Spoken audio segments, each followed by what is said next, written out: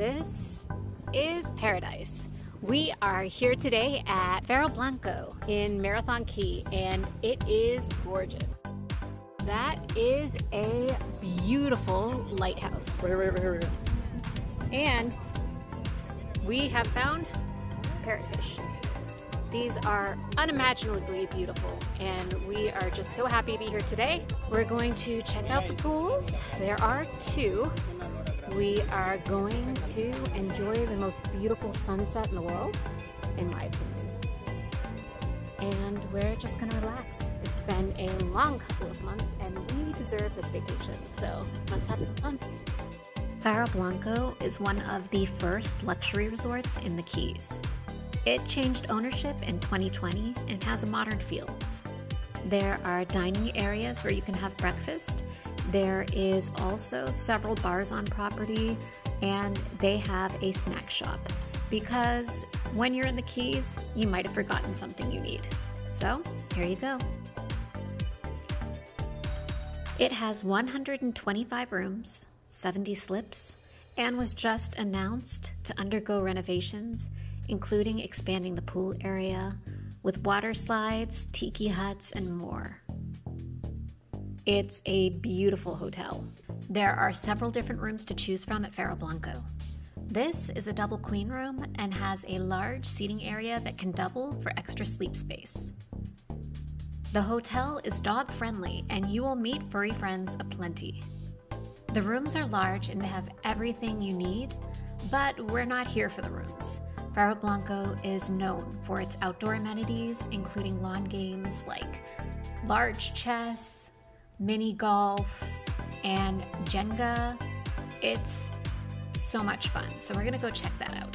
This is the first of two pools on the property.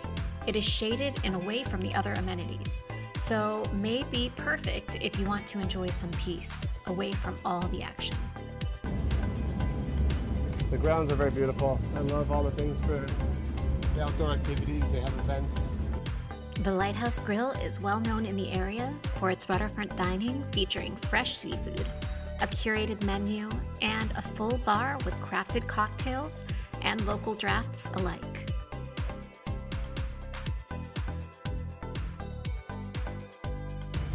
We have cookies.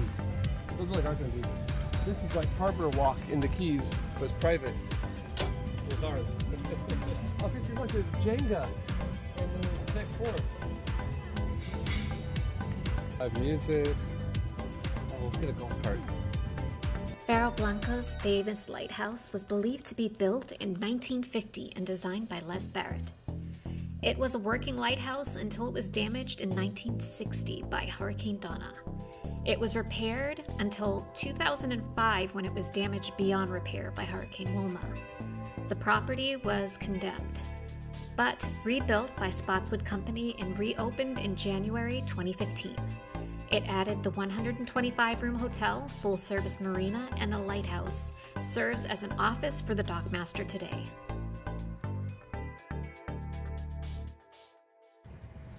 Beautiful. Those are good finds. Those are indeed parrotfish. Take Those a are- picture. Do you bring your phone? Yeah, those are a school of parrotfish. Wow. Yeah. Oh, Steven.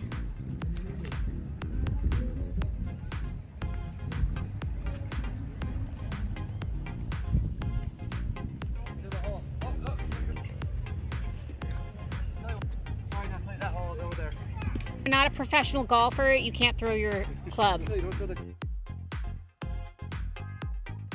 So it is time for us to go check out the pools. The sun has set and it is okay for me to go in the water now that it's not burning hot. I am way too pale and have no intention of, I don't even think I can at this point, but I'm really excited. And I know that they have Ace Pineapple Ale on draft, which is my very favorite, and I was not able to get that with Conch Republic, sadly. Let's have some fun. Ooh, not bad.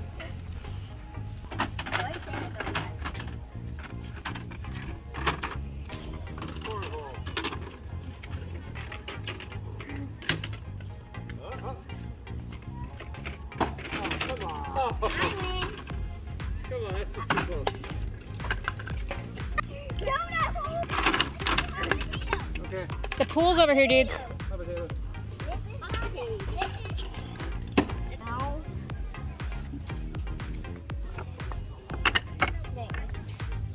Good job. Come over there, Chrissy.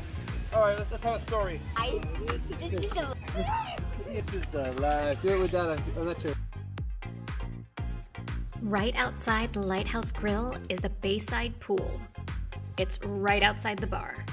It is the perfect place to enjoy the sunset while having a refreshing cider. I know I will.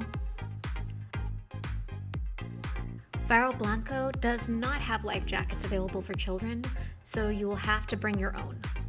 Which we forgot to do because we are used to being spoiled by having them readily available. Faro Blanco has my Ace Pineapple Cider, which I could not find at Conch Republic, which is where I discovered it in my first trip to the. That's heaven. As you can see, it is a beautiful sunset, and the kids are having a blast, and it's just really nice out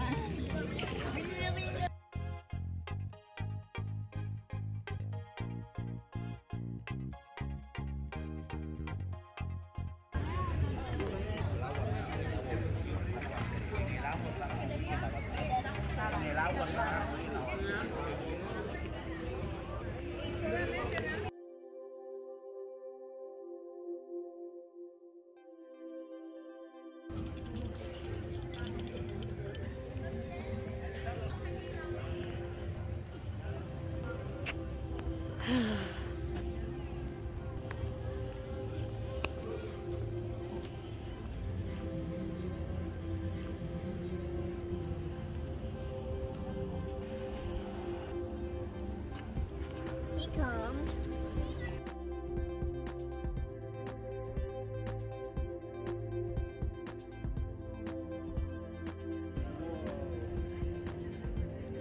Well, this is a pretty glorious sunset. I'm not entirely sure if I prefer it to the one at Amore Resort, but it's pretty special on its own. In terms of location, you really can't complain. And Faro Blanco is truly lovely on so many levels. And we will definitely be back. But until then, Thanks for watching. Let us know what you think of this video in the comments, or if there is somewhere you think we should cover next. Feel free to like, share, and subscribe for more Florida Family Insiders fun. Until next time.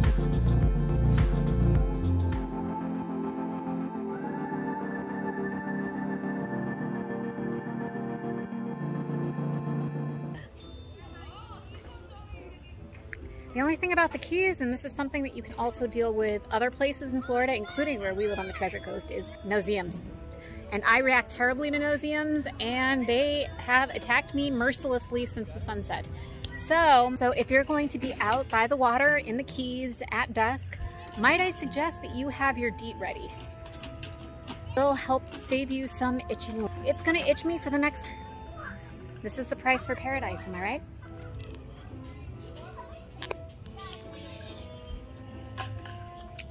Ah, so refreshing.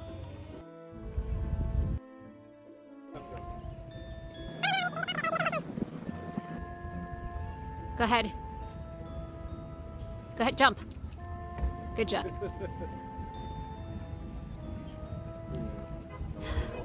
You're gonna be known for jumping. does. Does he do anything but jump? Jesus, that guy.